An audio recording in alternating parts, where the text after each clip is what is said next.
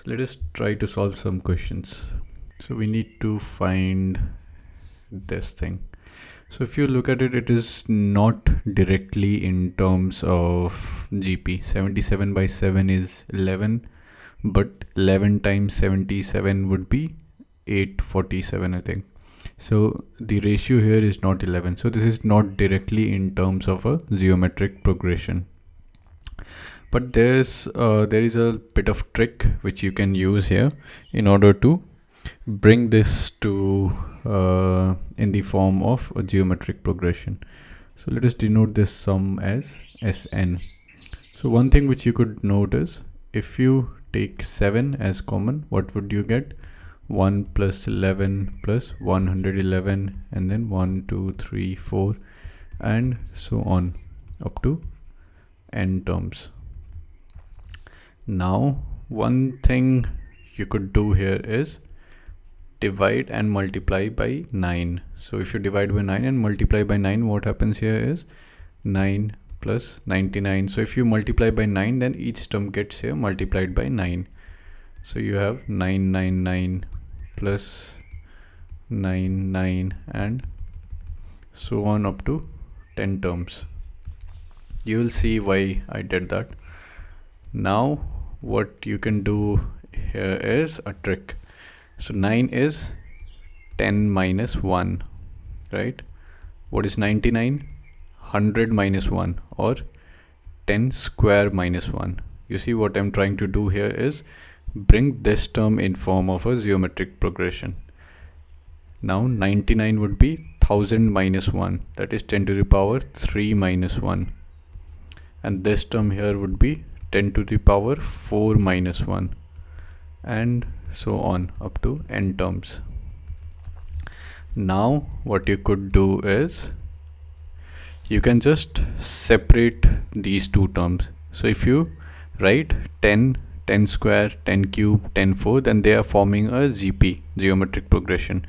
So what we have here is 10 plus 10 square plus 10 cube plus 10 4 so this goes on up to n terms right?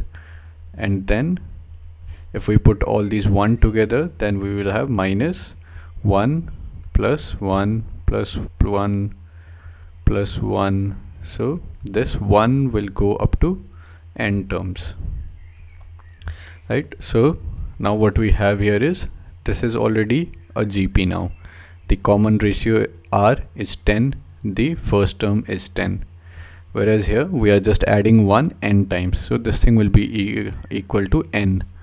Now what we can do here is just write the formula use the formula for sum of uh, n terms.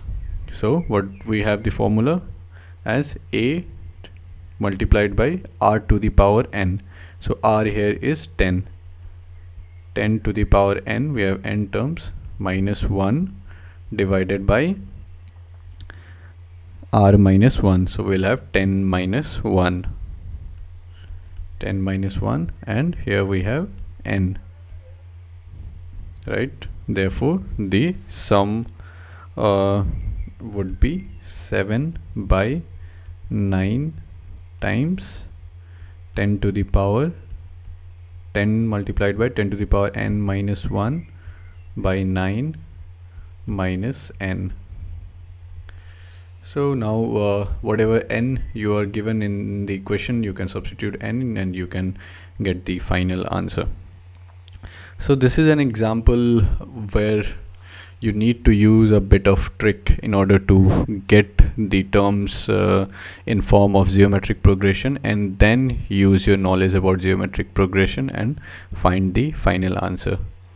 So uh, now we have learned many concepts. So the thing to do is just practice as many questions as you want from variety of sources and you will keep on finding new types of problem where you need to think a bit differently and we can reach in many different exciting conclusions. Let us have a look at this example. It says the sum of first three terms of a GP is this and the product is minus 1. Find the common ratio and the terms. So there's a little bit of trick again in this question. so whenever you are given in this form that the product is this much of three terms so what we can assume is that let a by r a and ar be the three terms in this uh, gp so what we have here is so a by r a. So what is the ratio here? R. If you multiply by r you get this term. If you multiply by r you get this term. So these three terms are in a geometric progression. Now what do we have here?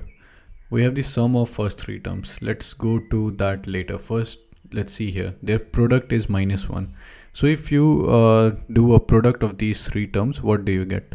A by r multiplied by a multiplied by ar right? And in this r and r gets cancelled. And this is equal to minus 1 therefore what we have here is a cube is equal to minus 1 and now if you only consider the real roots then a will be equal to minus 1 so using uh, this trick we very easily could find our first term a. Since uh, it was a by r a ar when you multiplied all these three the r got cancelled and then we just got an equation here in one variable and we found the value of a. So this was the trick.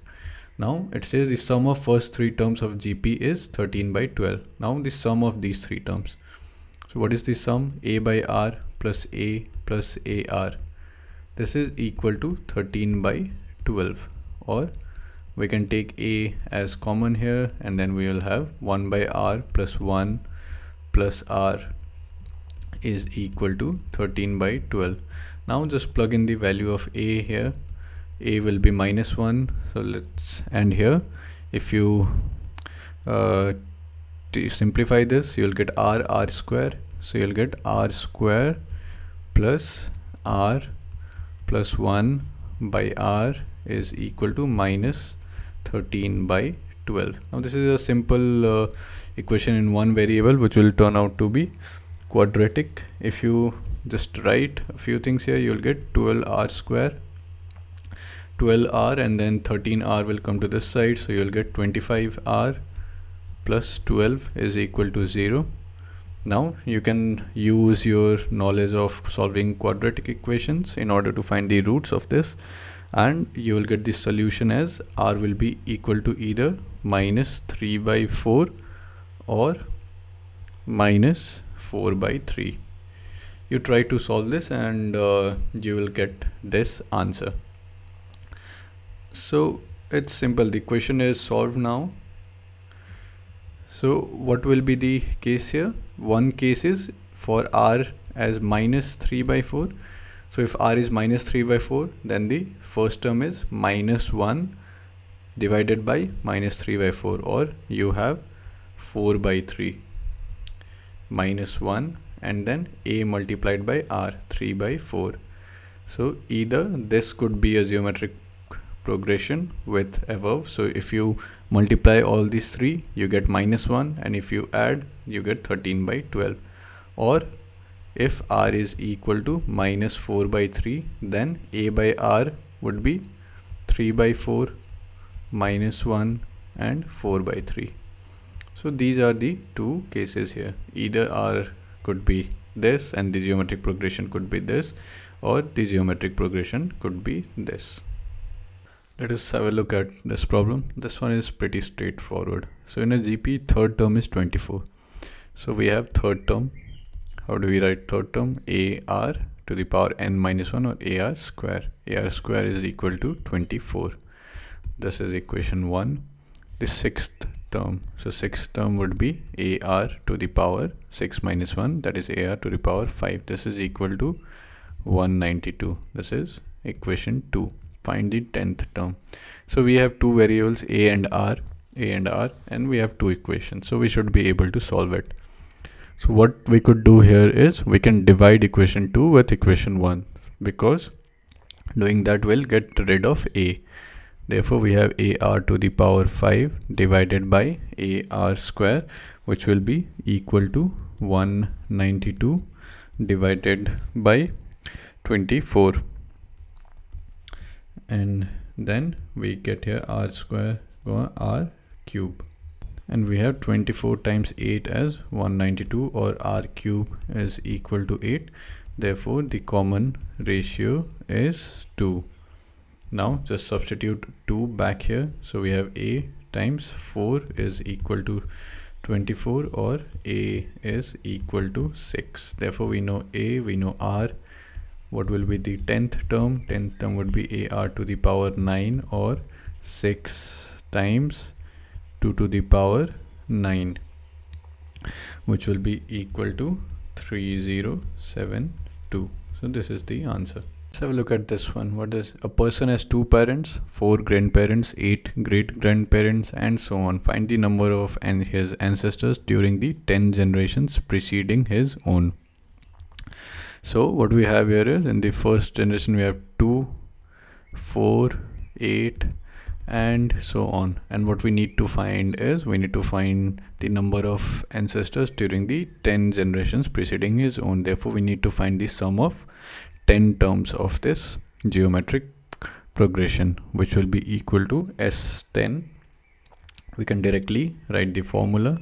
So formula is a times r to the power n minus 1 so r is 2 to the power n is 10 minus 1 divided by r minus 1 therefore what we have here is 2 times 2 to the power 10 minus 1 or this will be equal to 2046 hence the number of ancestors preceding the person is 2046 so basically from these examples you can see is that uh, there are a lot of uh, different varieties of questions that you can frame uh, using uh, geometric progression or arithmetic progression uh, all of these. So now you can just practice as many questions as you want from different sources different varieties. You'll after some time you'll start to enjoy uh, the process the many different tricks and uh, just by the fact that you can apply the same knowledge in so many different ways